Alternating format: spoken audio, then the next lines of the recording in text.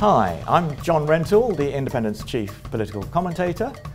Now, after Keir Starmer's visit to Paris to see President Macron, the Independent asked readers uh, for their questions about what this means and what the Franco-German proposals for a four-tier Europe, which were announced at the same time, what they might mean uh, for Britain's future in Europe, uh, particularly under a Labour government.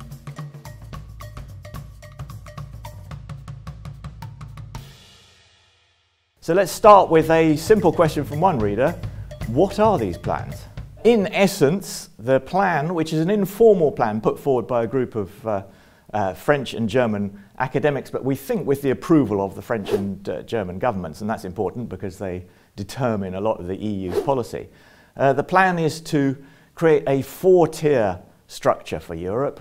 Uh, in the outer tier would be uh, where Britain is already, which is the uh, European political community, which is one of uh, President Macron's recent ideas. Then the next tier would be countries like Norway and Switzerland, uh, which would be in the single market. Uh, and there's a possibility that Britain might be part of that. Then there's plain uh, EU membership, and then there would be an inner core of countries that want to integrate further uh, and give up the veto and decide everything by majority voting. Selden wants to know isn't this a framework to streamline entry-exit procedures and allow nations to tailor their relationship based on shorter-term uh, issues than at present? And do I think that it might have a negative impact on EU stability uh, by setting up power blocks uh, outside the core nations? Now that is a very good question because I was surprised about this idea of an inner core uh, rushing ahead to further integration because that would as Selden says, divide uh, existing EU members. Um, you know, we've already seen that Britain was very reluctant when we were a member to be put in a second tier, but we were already outside uh, the euro uh, and outside that passport-free Schengen zone. But I would have thought, I'd be surprised if the if EU members who were destined for that second tier would tolerate a higher core going ahead of them.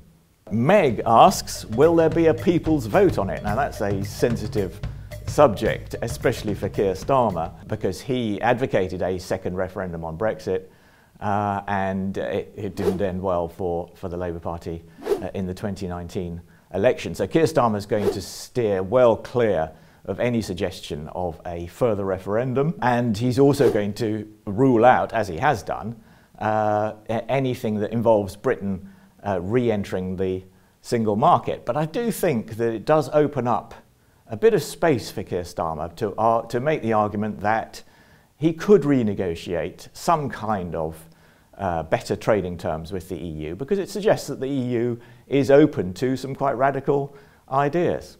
Paul asks, regarding the UK and Brexit in particular, what are the actual best interests of the EU? Now that does raise an interesting question of what the EU is prepared to give uh, the UK. Um, I mean, there's a lot of people suggest that the EU shouldn't be interested in the UK. We've left, um, and you know, if we started a, a, long and tortuous negotiation over the terms of our trading, uh, what would the EU get out of it? I mean, they're perfectly happy with us uh, being out. I'm not sure that's strictly true. Emmanuel Macron, I don't think, is just being polite. Um, I think he wants good relations with Britain, especially if there is a Labour government. I think he's, uh, he's engaging in a bit of canny politics there. Um, but I think the EU does want to have uh, a good relationship with, with Britain, even if individual EU leaders might be pretty wary of re-engaging with uh, one of their most troublesome uh, former members. Uh, but eventually, I think uh, the EU would want to see Britain rejoin, and I think they would do the minimum possible to make that happen. Okay, finally, uh, one reader says, now that the British can no longer deny the fiasco that is Brexit, it's no surprise that Britain wants to cozy up to the EU, but what would each of the 27 EU member states and, and you know, 10 prospective new states have to gain from granting a troublesome former member any privileges? When a clean break is working so well? Well, that is, um, that is the, the, the, point I was just referring to.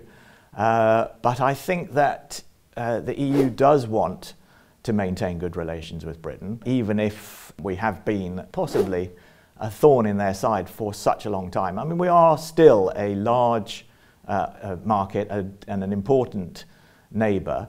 Uh, and a Labour government is a different proposition. If there is a Labour victory at the next election, I think uh, things will change. Uh, Keir Starmer will be able to do things that Rishi Sunak can't do, although Rishi Sunak has actually done some rather constructive things with the EU. Uh, and I think um, the space would then open up for a, a longer term debate. I don't think anything's going to happen uh, in the next few years, but who knows about uh, uh, the longer term beyond that. Thank you very much for watching You Ask the Questions. You can watch more episodes on Independent TV.